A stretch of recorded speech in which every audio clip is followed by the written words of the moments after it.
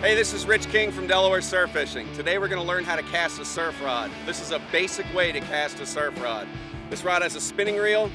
You line your bail up with the bottom of your rod, pull your line in tight to the rod, click your bail over, line your sinker up with your bottom eyelet. This helps with the action from the fulcrum because this is a fulcrum style cast.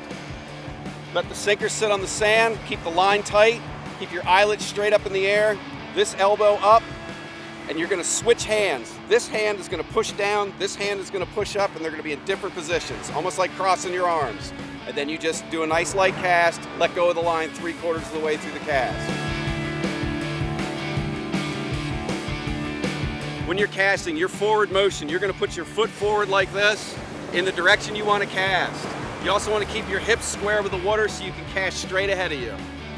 When you're casting out and surf fishing, there's three different things you can do. You can cast short, medium, or as far as you can cast. When you're first starting out for the day, it's best to cast in all three positions and use three rods. Send one out as far as you can, send one right in front of you right here in this first trough, and send one right about in between them.